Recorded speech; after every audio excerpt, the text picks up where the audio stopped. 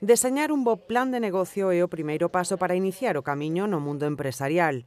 A Deputación e a Asociación de Empresarias de Lugo ofrecen estes días unha acción formativa dirixida a 30 lucenses para impulsar o papel emprendedor, neste caso dos veciños da provincia.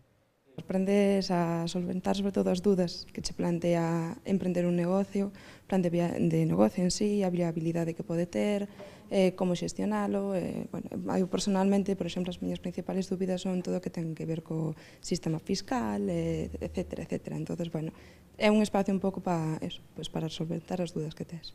Deseña o teu plan de negocio ofrece 50 horas de formación gratuita en aspectos como o plan de empresas, estrategias para a busca de financiamento, características do mercado ou a descripción dos produtos e servizos que unha empresa debe ofrecer.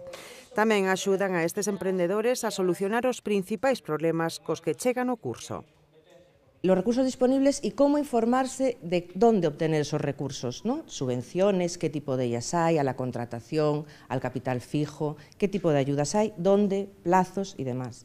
Por otro lado, por otro lado hay el problema, digamos, administrativo, que es eh, la fiscalidad, la contratación. Y luego incidiría también eh, lo que es el marketing, la red de ventas, cómo establezco los precios, cómo es la competencia, cómo es el entorno en el que me voy a mover. ¿no?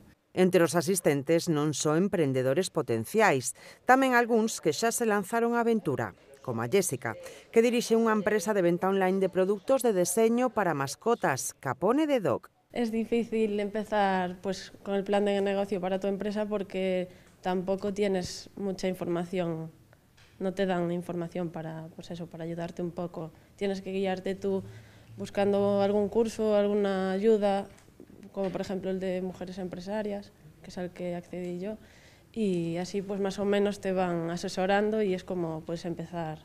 Este obradoiro celebrarase ata finais de mes na cidade de Lugo e tamén en Viveiro.